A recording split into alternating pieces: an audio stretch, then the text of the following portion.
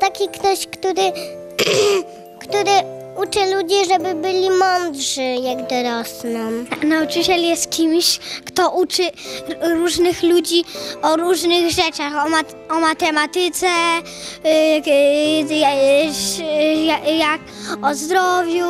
Osoba, która uczy studentów, dzieci i różnych ludzi. Można uczyć studentów na różnych wydziałach tego, mm, y, jak chcą pracować. Tak.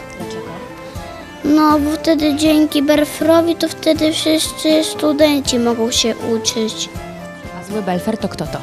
To jest ktoś, kto uczy, u, uczy ludzi o czymś, czego nie ma.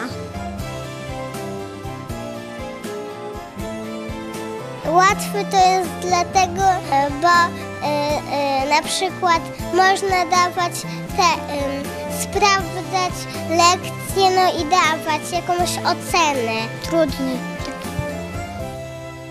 No bo potem dzieci krzyczą. Może być czasami proste, a czasami może być też trudne. Kiedy jest proste, kiedy jest trudne? Trudne jest, jak jest coś na przykład y, y, y, o matematyce, no bo niektóre rzeczy mogą być takie trudne. Trudne? No bo trzeba powiedzieć studentom em, em, dużo słów o angielskim. Trochę trudne.